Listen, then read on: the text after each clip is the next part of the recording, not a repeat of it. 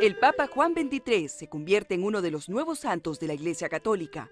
Angelo Giuseppe Roncalli nació el 25 de noviembre de 1881 en Bérgamo, Italia, y falleció el 3 de junio de 1963. Fue ordenado sacerdote en 1904, luego en 1953 se convirtió en cardenal. En 1958 fue elegido papa y su pontificado duró hasta el día de su muerte.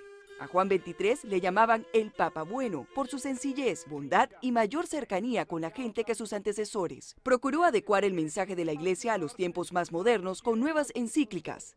Roncalli convocó el Concilio Vaticano II, evento histórico que cambiaría el rostro del catolicismo, adoptándolo a los nuevos tiempos y acercándolo a los fieles. Durante su papado hizo tres canonizaciones, incluyendo a San Martín de Porres, el primer santo negro de América. Escribió Diario de un alma, un libro de reflexiones y oraciones que empezó a escribir a los 14 años. Juan XXIII fue beatificado en 2002 por el Papa Juan Pablo II, con quien comparte el mismo día de canonización.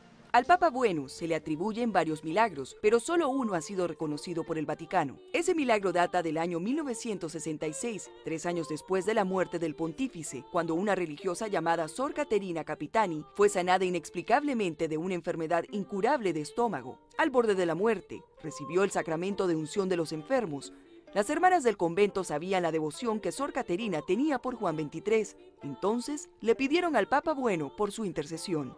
A los pocos minutos, Sor Caterina comenzó a sentirse mejor y dijo haber visto al Papa Juan XXIII sentado al pie de su cama avisándole que la plegaria por su causa había sido escuchada. Los exámenes médicos luego demostraron la desaparición absoluta del mal que la aquejaba. Una comisión de médicos calificó de inexplicable científicamente la curación de la religiosa. Arlen Fernández, UnivisionNoticias.com.